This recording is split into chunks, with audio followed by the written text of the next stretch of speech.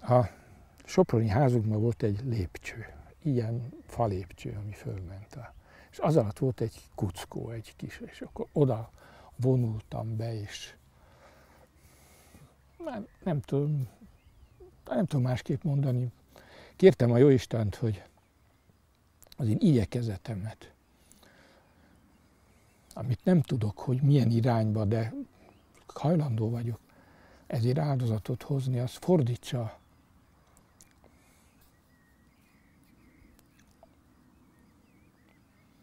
Na szóval fölajánlottam az életemet, hogy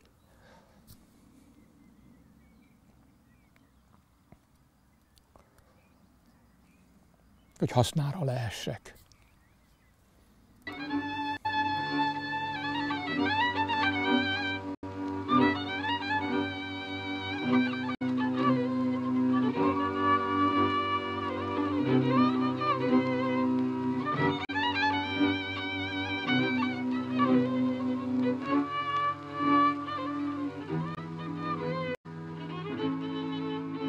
Elős elhatározásomhoz, hogy én néprajzos leszek, vagy néprajz a magyar nép kultúrájával fogok foglalkozni, az még középiskolás koromban kialakult bennem. Én teljesen akkor már ugye ennek a népi irányzatnak a híveként, hát egy, egy, egy más Magyarországot képzeltem el.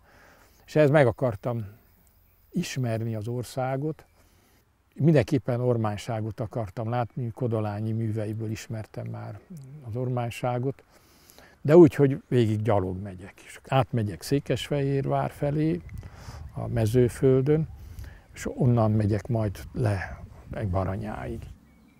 És hát ez határsáv volt. És bementem a pécsi rendőrségre, hogy én szeretnék ormánságba szétnézni, kérek engedélyt. És az, aki ott, ott az, nem kell magának engedély, csak ahová megy, mindig jelentkezzen a rendőrösön. Tehát az első rendőrösön, ahol jelentkeztem, Szent Lőrincen, mondták, várjak egy kicsit, mindjárt intézkednek. Egy fél óráig várok, egyszer csak elém áll egy rendőr, betölti a puskáját, és azt mondja, most én az ő fogja vagyok, és hogyha szökésre betemedek, akkor lelő. Első év, második fél évében sikerült átmennem végleg a muzeológiára, Vajda nagyon szellemes volt, nagyon szellemes, jó előadó volt, Déglinda kevésbé.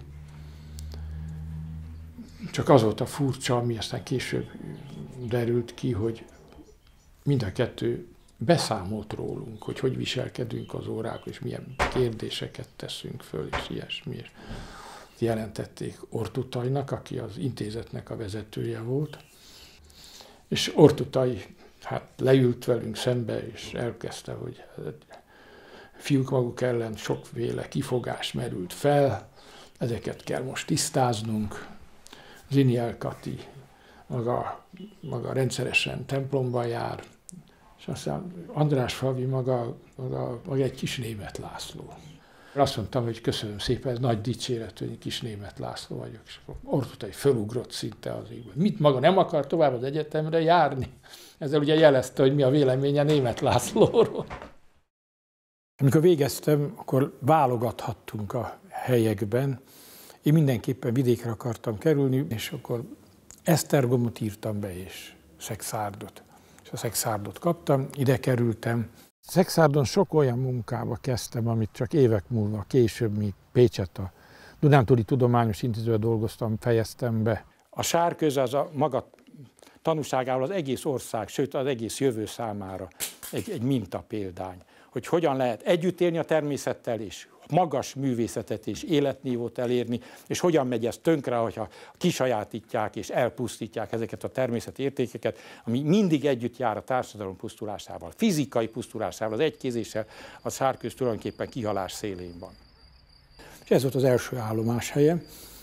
És aztán úgy gondoltam, hogy itt is fogok megöregedni. Aztán némi ellentétek támadtak itt a főnökömmel, és akkor inkább elmentem.